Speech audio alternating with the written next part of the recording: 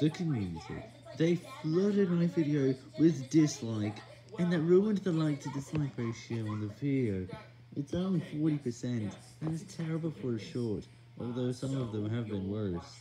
But that's just sad. So, shorts are the worst stream ever. Literally.